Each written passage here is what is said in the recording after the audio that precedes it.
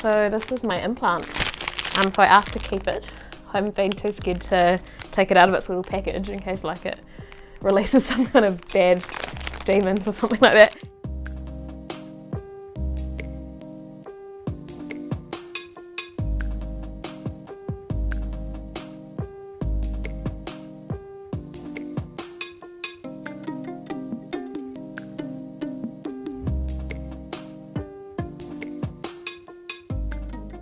There was a long time of not really realising that any problems were associated with the implant, like tiredness and brain fog, memory issues.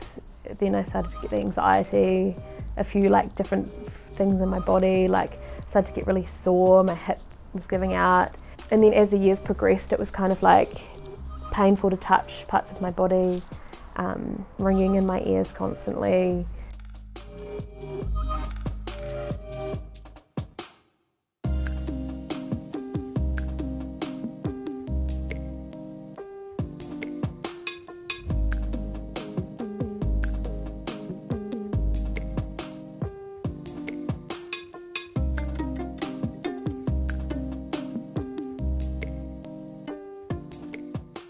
yeah, I would have worn like things that covered up. Now I can wear something like that and not feel uncomfortable about it.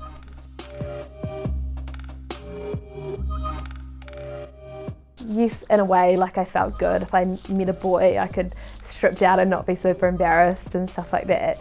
But yeah, like little bits here and there were happening. Like starting to have these days where like I had really bad bouts of vertigo and days where I just couldn't get out of bed or really bad migraines and stuff like that.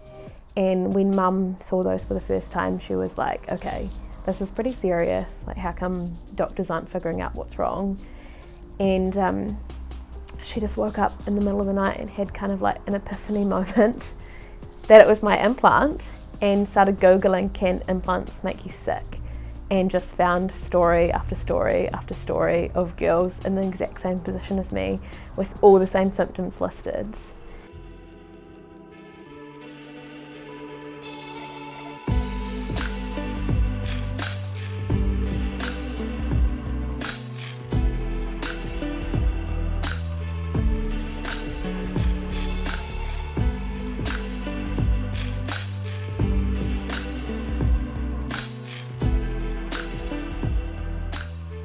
I actually got bumped to another surgeon and then I got bumped to the registrar. And it was basically the most disappointing experience of my life. He came into the room and essentially dismissed me within the first minute and just said that you have to be careful what you read online and that there's no such thing as breast implant illness. And he basically said there was nothing he could do to help me and that there was no link between the implant and my symptoms and that, that was it. Public health, public health system wouldn't help me. And I felt like I couldn't get through to them that, that I was actually sick and I needed help.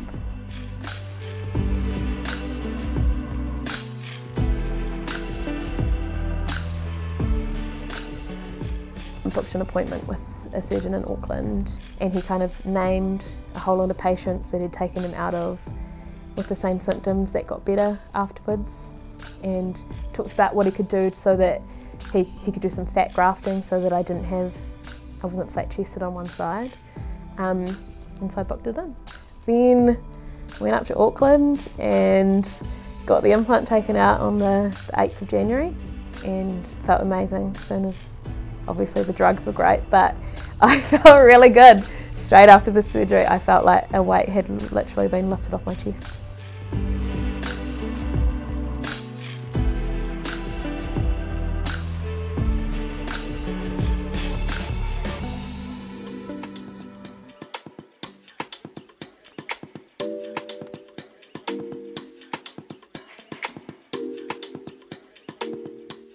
Unfortunately, the research in this area is really poor.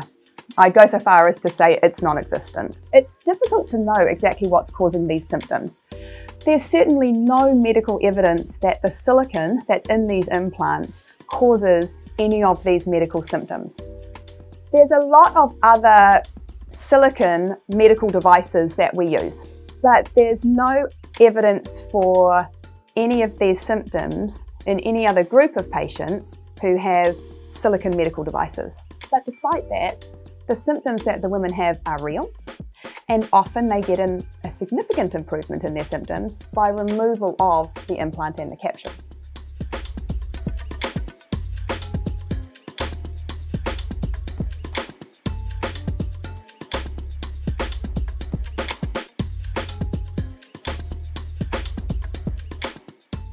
Many doctors do not mention breast implant illness before putting in breast implants because it's not a medical diagnosis.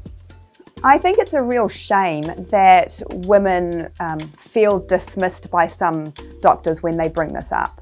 I think even if we don't know for sure what causes these symptoms, the symptoms are real and the patients have genuine problems. And whenever a patient has a genuine problem, it's our role as doctors and surgeons to listen and to try to help that patient. I think it would be great if the medical profession would acknowledge this. I'd like to be acknowledged is it not being in my head, like I'd, I'd love that. Ultimately for me, if I had one wish to come out of this, and I said this to the, the surgeon when I saw her again, is I, I thanked her for putting it in in the first place actually. I said that she really helped me when I was in a vulnerable, compromised position and that she was doing what she thought was best. But I hope that if other women come here with the same symptoms that they're listened to, that's, that's all I hope for.